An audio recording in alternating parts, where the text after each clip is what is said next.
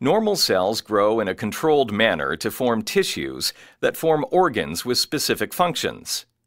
Malignant cells are defined by their ability to invade adjacent normal structures and be disseminated or metastasize. Malignant tumors can metastasize at any point. They do so by having cells break off from the main tumor, enter the bloodstream and or lymphatic channels, and travel to other parts of the body to initiate a new tumor. Their ability to invade eventually affects the function of the normal tissue into which they are growing. Metastases is a multifactorial process involving complex interactions between tumor cells, vessels of the lymph and vascular systems, the basement membrane surrounding those vessels, and the extracellular matrix, which consists mainly of collagen. Let's take a closer look at how the EGFR pathway activates and modulates metastases. When the appropriate signals enter the cell, a complex chain of events within the cytoplasm is set in motion.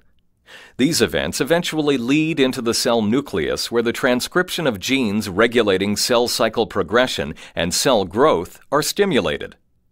One protein produced through this cell activation process is the enzyme matrix metalloproteinase, or MMP. When a tumor cell metastasizes, it breaks off from the main tumor and enters the extracellular space. Tumor cells secrete MMP, which degrades the collagenous extracellular matrix, or ECM, breaking through the basement membrane that surround the tumor and allowing the tumor cell to migrate toward the blood or lymph vessels. When the MMPs reach the vessel, they break down the basement membrane surrounding the vessel through enzymatic action, opening access to the epithelial cells lining the vessel. Tumor cells can then migrate into the blood and lymph by entering through the tight junctions of the epithelial cells. The tumor cells are then transported through the blood and lymph to other tissues. It is known that metastatic tumor cells tend to target some organs more than others, although the reason why is poorly understood.